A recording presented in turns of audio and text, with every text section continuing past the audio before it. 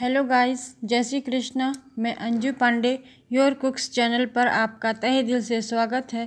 तो आज हम अपने इस वीडियो में बनाएँगे पालक के पराठे। तो चलिए स्टार्ट करते हैं। यहाँ पर लिया है मैंने पालक, धुली हुई कटी। यहाँ पर मैंने एक बड़े कटोरे में आटा लिया है, लेकिन छोटी कटोरी में ये दो कटोरी के हिसाब से होगा। और ये तेल लाल मिर्च पाउडर, अजवाइन, जीरा, कुटी हुई अदरक, नमक, एक चम्मच और एक मिर्ची कटी हुई। तो सबसे पहले हम आटे को एक बड़े बर्तन में डालते हैं। यहाँ पर मैं ब्रेकफास्ट के लिए बना रही हूँ। और अब हम इसमें डालते हैं कटी हुई पालक।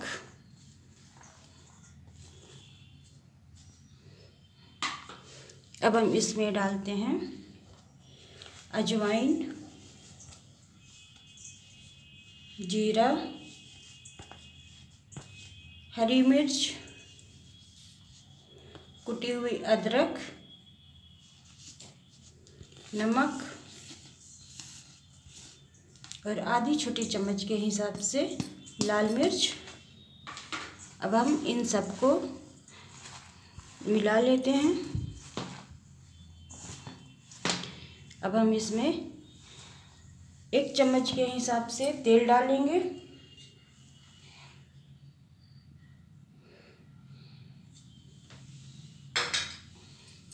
अब हम इसमें थोड़ा थोड़ा पानी मिलाकर इसे गूँथ लेते हैं। तो आटा हमने यहाँ पर गूँथ लिया है। मैं दो तरीके से पालक के पराठे बनाती हूँ। एक काट कर और दूसरा गैस में चढ़ाकर, फिर उसे मिक्सी से पीस कर तो मैं उस तरह की रेसिपी भी एक दिन ज़रूर लाऊँगी। और चलिए, अब हमारा आटा गुज गया है तो चलते हैं पालक का पराठा बनाने। आप चाहें तो थोड़ा सा परथन भी लगा लीजिए।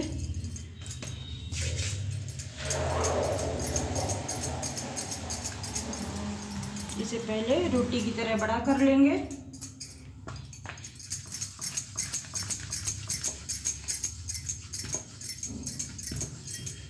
हम इसमें लगाएँगे तेल। अब इसके ऊपर लगाएँगे तेल। और इसे फोल्ड कर देंगे। ऐसे। अब इसके ऊपर भी लगाएँगे। और इसे भी फोल्ड कर देंगे। और अब इसे बेल लेंगे।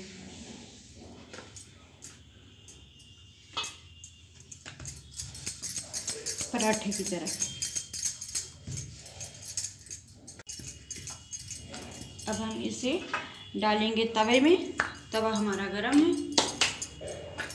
जब तक हमारा पहला पराठा सेक रहा है तो हम तब तक में जब तक हमारा पहला पराठा सेक रहा है, तब तक हम दूसरा पराठा भी इसे पहले हम रोटी की तरह बनाएँगे। इसके बाद उसमें तेल लगाकर पराठे का आकार देंगे।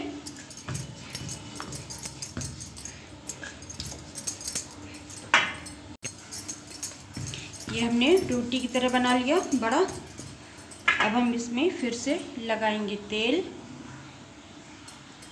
चारों साइड। हम अपने हर एक पराठे में इसी तरह से रोटी बनाकर पराठे का आकार दे देंगे।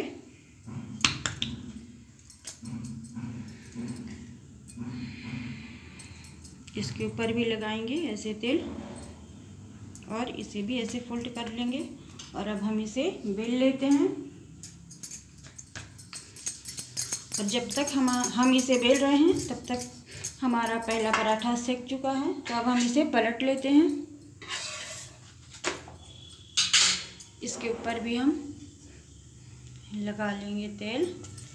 हमें दोनों साइडें लगाना है पलट कर जिससे पराठा अच्छी तरह से सेक जाए।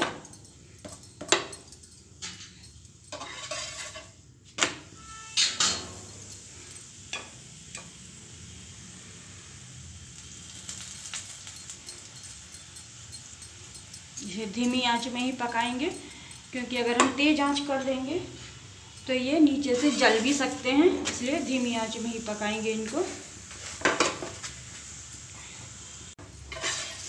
पहला पराठा हमारा सेक चुका है, अब हम इसमें डालेंगे दूसरा पराठा जो हमने बनाया हुआ है।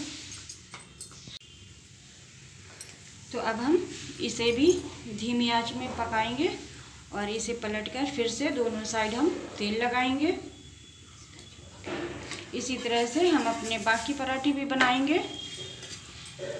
तो हमारे पालक के पराठे तैयार हैं और आप इसे चटनी के साथ, सॉस के साथ, किसी के भी साथ खाइए, बहुत ही स्वादिष्ट लगेंगे।